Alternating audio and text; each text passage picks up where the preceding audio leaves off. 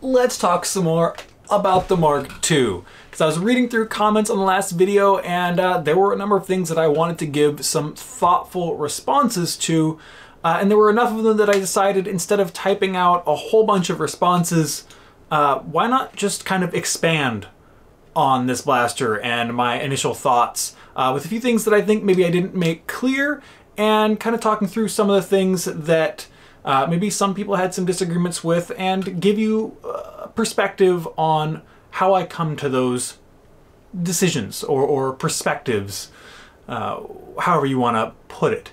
Uh, the first thing I, I want to kind of specify that I think maybe didn't come across as well as it could have in the video is that I like this blaster.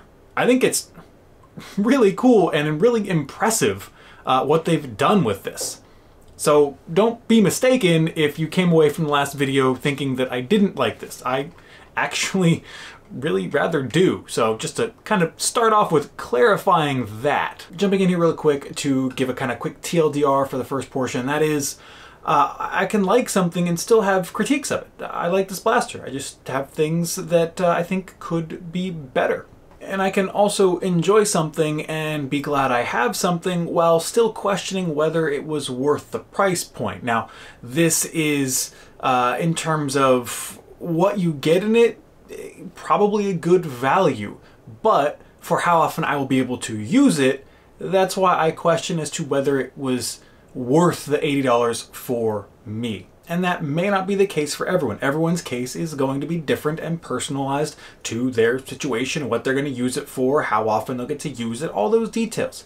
So it's just my perspective. I also want to preface this with uh, I'm, I'm, I don't want to dismiss any comments, regardless if someone disagrees, uh, if they're critical or critique something, those give me value. Those are interesting to me in that I get to see someone else's perspective. I, there's no value to me if I just dismiss something that someone says, even if I don't agree with it, unless it's like the most factually incorrect, absurd, you know, obvious thing that it's like, okay, well, this, I can't approach this. But for anything other than that, like there, there's value in having this discussion, and that's part of why I wanted to uh, expand on things, because regardless of the comment, I like engaging and, being able to get that perspective and understanding from other people as well. So it's not just my own because I'm just one opinion and there's so many more people in this hobby than just one person. In fact, I think one of the reasons I may have come off uh, more harsh in that video is that I had really, really high expectations for this blaster. Uh, so much so that I think I was kind of looking for it to be perfect. And then when the blaster itself was great, but the things that came with it maybe weren't as great. It kind of was disappointing to me. Uh, now, that may or may not be necessarily a fair thing to do to kind of come in with certain expectations and then when it's not necessarily the blaster itself but more the accessories that are that are problematic for me uh, aside from yeah we'll, we'll get into the whole aesthetic thing in a bit um, but yeah, it felt like they, they spent so much time crafting this into something that's that performs nicely, though it does seem that mine is a little bit lower performing than some of the others, so maybe some variance there, uh, but feels nice, uh, shoots well, just it, it's a nice package for a blaster. Uh, aesthetics aside, any of that argument aside. And then the stuff that comes with it while nice, wasn't as refined. Uh, we'll go ahead and we'll talk.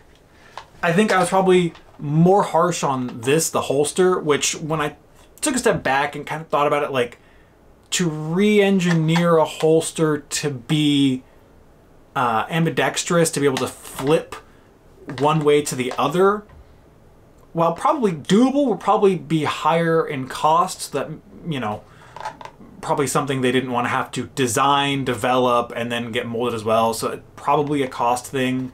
Um, and they figured that, uh, as pointed out, most people are right-handed. Even though my kind of thing is, I'm right-handed, but I want my secondary on my left-hand side. Uh, so that I, guess that's my that was my frustration with that. But if it does fit where you want it and how you want to draw it, it is a nice inclusion. No denying that. Uh, maybe someone will design a MOLLE adapter for the belt loop. So if you want to run it on a MOLLE rig of some kind, you can instead of only being limited to belt loops. Something I absolutely stand by though is that this mag holder or speed loader holder is not as good as it could have been. Um, I the problem with this just it's I'm not the only one that experienced it. It's just such a bummer that they didn't take a little bit of extra time uh, to design this and do it in a way that allowed you to reload because sure maybe not everyone's going to but if you make it look like the option is there why not make it so you can actually do it. It's such a bummer to me because I really like these speed loaders. It is such a fun element. It's honestly one of the most fun things I've found in this hobby in terms of like new blasters in a while. And it, it's not even shooting the blaster. It's a mechanism to allow you to shoot the blaster, but I just really like how they had done it. It was really satisfying and really well done. And that's again, elevating something to a high level and then having something that doesn't quite meet that high level uh, makes it seem even less impressive than it may be. And even if you run these upside down, you can't reload them. Uh, because sure, you can put a dart in, but if I find a dart, I'll put one dart in, I'll put a second dart in and I'm running around doing a thing and my darts are not the way they should be uh, because there's no follower holding them in place. Uh, can I pull these out? I, okay, okay, cool.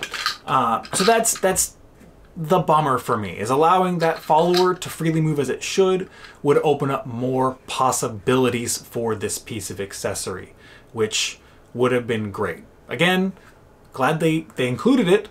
I just wish they would have spent a little bit more time. And yes, these may seem like nitpicky things, but for a line you're going to call your pro line, I think that warrants elevated expectations. Because for the blaster and the speed loader themselves, they did a fantastic job. It's just the accoutrement, the the accessories, the extra stuff that that hasn't quite stacked up. Now, the thing that probably popped up the most, and that is my um, concern over the shape of the blaster, of it being very firearm-like. Uh, there's a variety of different comments about why it's not a problem. And for me, I have to come at this from the perspective of an organizer. I have hosted games in the past and I will host games in the future. And for me, the safety of the people playing is important. That's why I pay for insurance for events. So if something happens, we have that. And I'm not gonna go through every single comment and, and things like that and kind of like, I don't wanna single anyone out or make it feel like that because no, this, again, I just wanna have a conversation and share some expanded thoughts on how I got to my perspective and, and acknowledge other people's perspective and kind of have that back and forth. Um, color, it being brightly colored maybe 10 years ago, that was more of a, of a, a safer kind of thing, but it's scary easy to find brightly colored real steel firearms now. Like it's it's becoming more and more common. So that doesn't immediately negate something when you can find things that have a similar silhouette and are brightly colored as well. Um, and there are handguns with larger back ends and, and things, you know, may not be 100% this exact form factor, but similar enough that someone that is not uh, a gun enthusiast or something may see it, be concerned, make a call, and for me, that risk, sure, maybe 99% of the time it's fine, but I don't like rolling the dice on that other percentage. Um, and again, that's just me. I'm looking at this from a, a game host and organizer's perspective. I want everyone to be as safe as possible. Um, you never know what's going to happen when you take things out of your hands and put them into someone else's that you don't know. Uh, so I have to try and look at those perspectives and try to mitigate things as best as I can. And that's why things like this are concerning. We have worker kits that emulate, uh, you know, real steel guns, and I'm, I'm not the biggest fan of those either, to be quite honest. Um, they have their place in, in, you know, again, LARP type stuff, cosplay stuff, and they can be cool display builds and aesthetic stuff, but if you try and make something look like a firearm, I tend to err on the side of not the biggest fan of that. Also, the fact that this is being sold at Target, a big box store, worker kits are not. Worker kits are not, you know, the most easily accessible to any person just browsing, you know, Target or Walmart or, or things like that.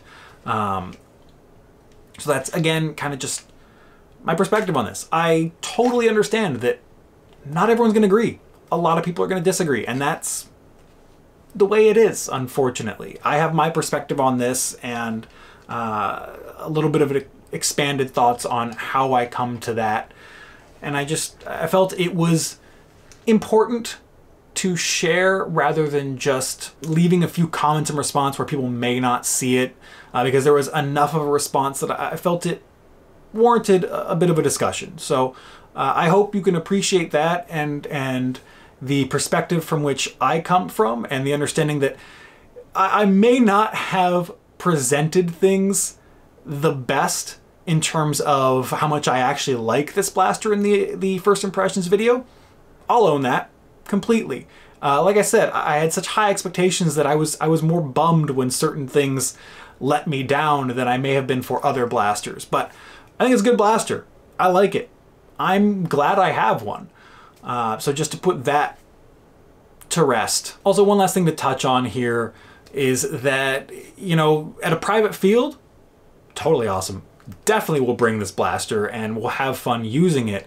Um, unfortunately, private fields are not an option for a lot of players. This hobby has grown through public games, and that freely accessible area is kind of an integral part of this hobby currently. Now, at some point in the future, maybe it'll change, but I don't see that being anytime soon because that adds a lot of cost to things. And this hobby being affordable is one of the great entry points for a lot of people. So if you start to push things to only be in, in you know, closed off private fields, then that may change some things for some people. And just that's one more thing to consider. And when you put something else into someone else's hands, things can happen that are unexpected. Now, if you get someone that sees the the blaster, thinks it's a gun, freaks out, makes a call, uh, and say nothing absolutely terrible happens initially, but say it happens enough in one area where then all of a sudden locally legislation starts to be drafted to limit the amount of uh, you know blaster battles can happen because they're starting to look very military and gun-like and for safety reasons they're going to ban certain things or you know things can happen and I don't want to be a catalyst for that. Now yes you can argue that may be an extreme case or, or something like that but something to factor. That's just that's how my brain works. I look at those worst case potential scenarios and try to think of, you know, is it worth it? And that's again, you can argue against it or for it, and that's just that's just where I'm at.